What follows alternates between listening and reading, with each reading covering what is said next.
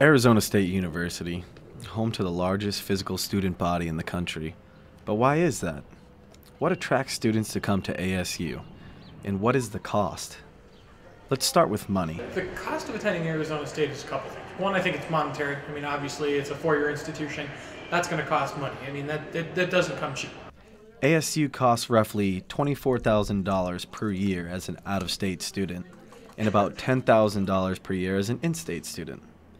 That's quite a sum, but for us journalism majors, compared to other schools such as Syracuse or Columbia, it's a fraction of the cost.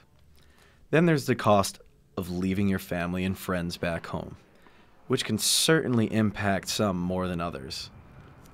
Um, part of it too is you got to move away. I, you know, I'm from Tucson, so I had to move away from home.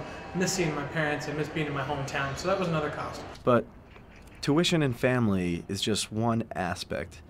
There is also the living expenses and meeting new people.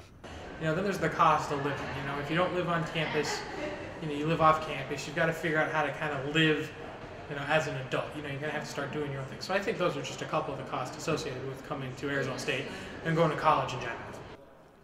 ASU can be quite a costly fee, but you've got to love that Sun Devil pride.